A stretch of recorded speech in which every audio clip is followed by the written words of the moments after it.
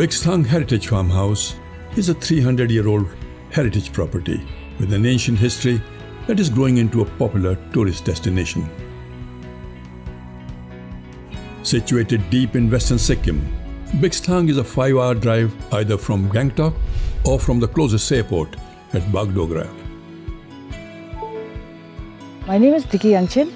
I run this homestay in a remote corner in West Sikkim, Biksthang Heritage Farmhouse. I'm the 14th generation in Sikkim, so I decided to move back to my ancestral property and uh, start something here.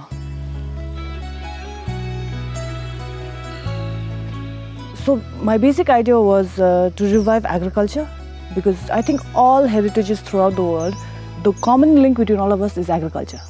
A lot of our agricultural land is lying fallow because most of our spring waters were drying up. So what I decided to do is move back here, but at the same time, try and you know, revive whatever agriculture that we could. Started building cottages so that I could run it together. I only have cottages that are ethnically and traditionally built, you know. So uh, our traditional style of building is makes a lot of sense for the Himalayan mountains, you know, because it's a very seismic zone. So what we do is we have light structures on top, and uh, it's mostly wooden. I've uh, strategically placed the cottages in agricultural wastelands. So either in places where uh, yeah, it was too rocky to do any agriculture, or like in these bends where there was not enough like sun or like between bamboo grooves, you know. But it worked out for me because here what I can offer is the privacy, the space, the time. You feel like it's your own house once you come here. I guess it's like a blend of like offering all the amenities of a modern resort with the warmth of homestay.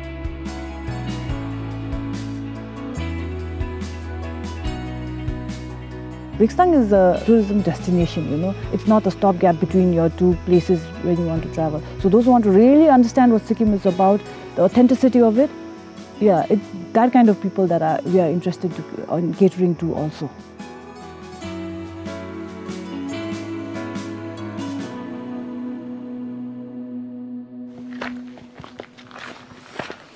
I'm taking you to Angku, which means a pond in Loke. I'm, we're going to the pool now, the infinity pool, the first of its kind in Sikkim. this is all cardamom, large cardamom here. This is guava. There's some original Sikkimese mandarin here.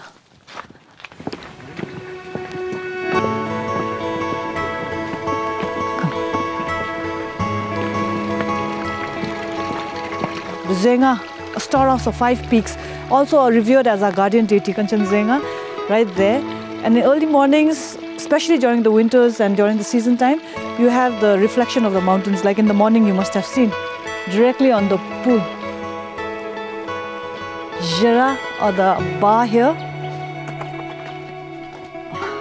The bar. This is the spa, the Menchu. Men means uh, medicine in Loke, Bhutia, and Chu means water. So this is medicinal water. The spa is called Menchu. Yeah, now I'm taking you to the traditional hot stone bath. This is where we normally offer the traditional hot stone bath. The idea is to keep yourself hydrated throughout.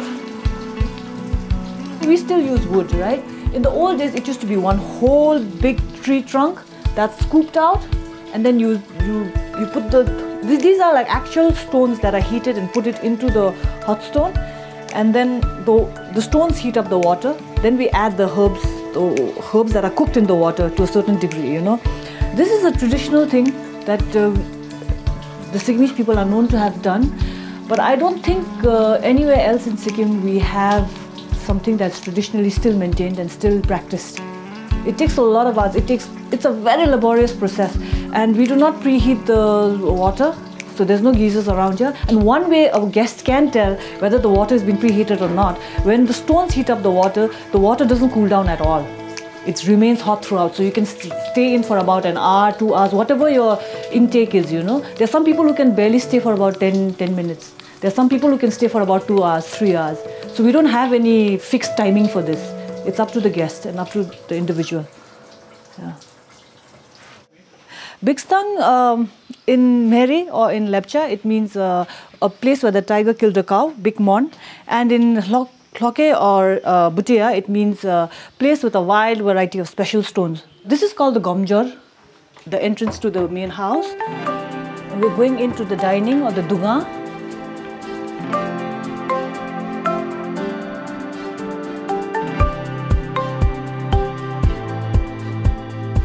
All old traditional Sikkimese houses were built something like this. You have like just one uh, big wooden pillar holding up the whole house. Then you have uh, walls, uh, wood stone walls that are about three feet in thickness. We're now entering the living area. This is my great grandfather who translated the history of Sikkim by Maharani Yeshe Dolma, uh, 1908. He was also the teacher of the Sir Tashi Namgyal, the 11th king of uh, Sikkim. The queen, when she visited the cave in uh, Raune or the cave down there in 1940, my grandfather had gone to receive her. Those are paintings by my great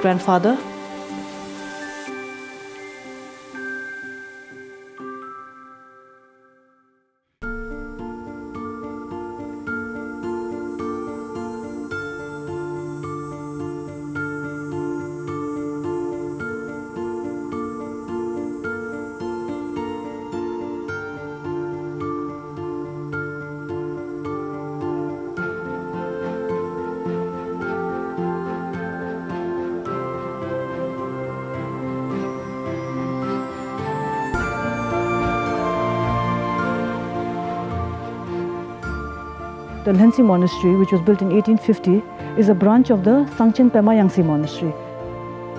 One thing that is very special about the Pemayangtse Monastery, of which Lhensi Gumba is a branch of, is that uh, the monks of Pemayangtse are supposed to be of pure breed. They are supposed to be Tasangs, you know. They are the only monks who are allowed to coronate the kings of Sikkim.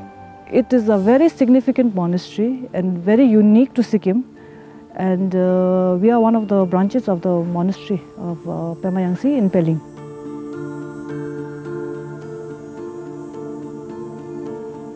There are three ethnic communities in Sikkim, the Meris or the Lepchas, the Lhopos or the Bhutias, and the Nepalese. Indigenously, uh, the Lepchas were here much before any other uh, community was here.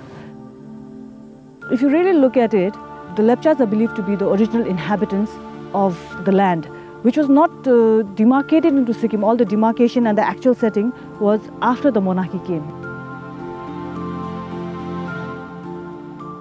So because of Biksthang Heritage Farmhouse, I've uh, been invited to lots of conferences and you know places like Delhi, Guwahati, you know even uh, different colleges to speak about uh, certain issues. Now I noticed that when I go to mainland India, first of all, I look different, you know. So it takes a long time to convince them that we are Indians, you know, that we're part of India now. The last uh, conference that I attended in Delhi is not a conference, but it was a full fellowship program that I attended. And I was trying to convince them, let's do something about bridging the gap between mainland India and the Northeast.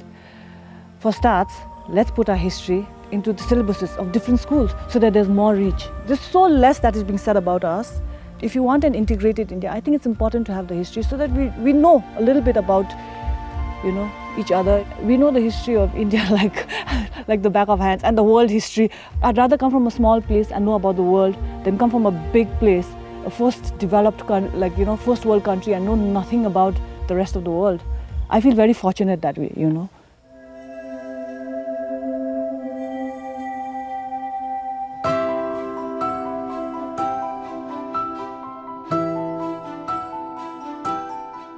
It's almost winter now. It's been a long and incredible journey, eye opening, humbling, and heartwarming.